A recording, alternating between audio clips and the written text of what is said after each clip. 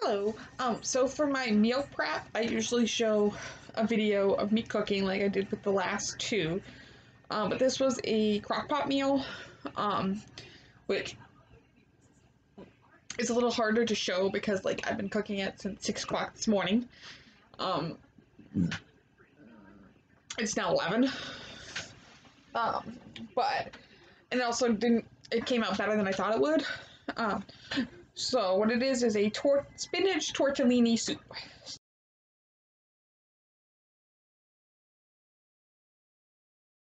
Um, so what's in it? I've got two bags of cream sugar. I mean cream sugar, creamed um, spinach. Two bags of cream spinach.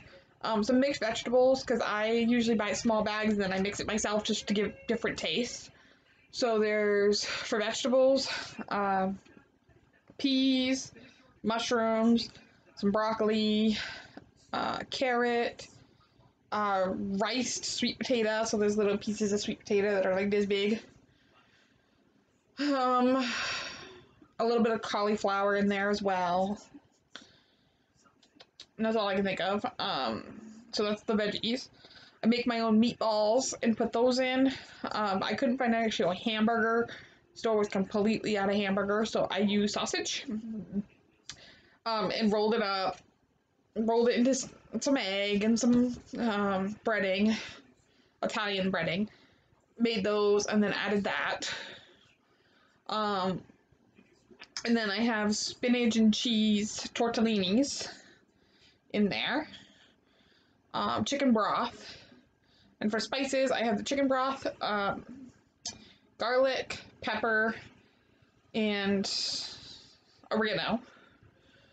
Um, and then when it was very close to being done completely, add um, fresh Parmesan cheese, like the, the bag of that, and a bag of five Italian cheese. It actually came out amazing. Um, so you just kind of put that stuff all in the crock pot, the cheese last, and let it go on.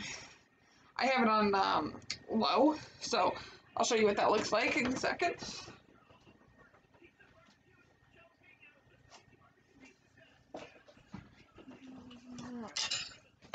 So,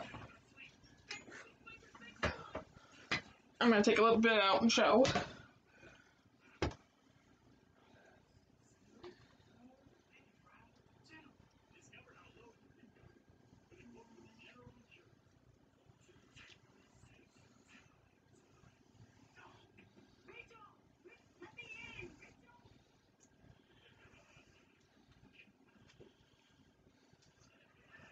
Just scooping it now.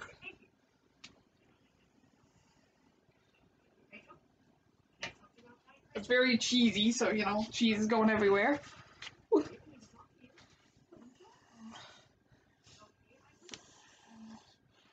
Let's see if I can turn my camera down so I can actually see.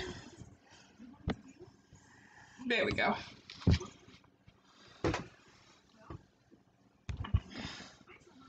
So that's what it ends up looking like. Um, tastes a lot better than it looks. And definitely I have a lot of vegetables in there. Um, I'm gonna let it cool down before I put it in. I'm gonna let that cool down before I put that in the fridge, but I just wanted to show that um, recipe, and at some point I'll probably make it again.